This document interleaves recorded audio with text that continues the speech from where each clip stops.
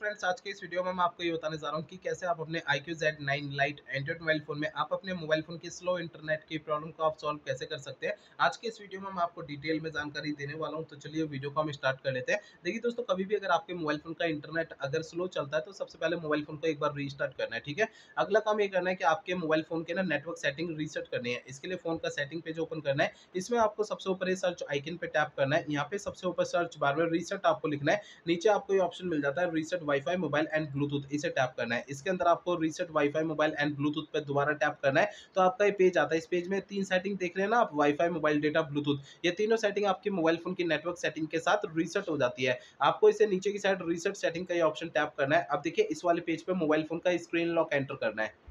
इसके बाद आपको इसे राइट क्लिक करना है। आपको नेक्स्ट पेज में सबसे नीचे रीसेट सेटिंग पे टैप करना है। आपको थोड़ी देर में नीचे लिखा हुआ आ जाता है यहाँ पर network setting have been reset इस तरीके से आपको मोबाइल फ़ोन की नेटवर्क सेटिंग को एक बार रीसेट कर देना है, ठीक है? अगला काम ये करना है कि आपके मोबाइल फ़ोन में फ़ाइल का ऐप है, इस फ़ाइल के ऐप को ओपन करना है। इसमें आपको नीचे ऐप्स का ये वाला ऑप्शन टैप करना है। यहाँ पे सबसे ऊपर ये सिस्टम ऐप लिखा है ना, इसे टैप करना है। इस पेज में आप नीचे आएँगे तो आपको ये ऑप्शन मिलता है एंड्रॉइड सिस्टम इसे टैप करना है। इसके अंदर आपको स्टोरेज एंड कैच का ये ऑप्शन टैप करना है। यहाँ पर आपको क्लियर कैच का ये ऑप्शन टैप करना है। तो आपका कैच के वाला डेटा ज़ीरो हो जाता है, ठीक है? अब देखिए, अगला काम ये करना है मोबाइल फ़ोन का ना रिसेट करना है। देखिए मोबाइल फ़ोन को रिसेट आपको तब करना है जब मेरे बताए हुए पिछले प्रोसेस कोई भी काम नहीं करते हैं, तब आपको फ़ोन को रिसेट करना है अदरवाइज़ नहीं करना है। फ़ोन को रिसेट करने के लिए फ़ोन का सेटिंग पेज ओपन करिए, सबसे ऊपर आपको सर्च आइकन पे टैप करना है। यहाँ पे सबसे ऊपर सर्च बार रिसेट आपको लिखना है। आपको नीचे ऑप्शन मिलता है erase all data factory reset इसे टैप करना है। इसके अंदर आपको erase all data factory reset पर आप दोबारा टैप करेंगे तो इससे आपका फ़ोन रिसेट हो जाएगा और आपकी प्रॉब्लम सॉल्व हो जाएगी। लेकिन फ़ोन को रिसेट करने से पहले दो बातों का ध्यान रखना है। पहली बात ये ध्यान रखनी है,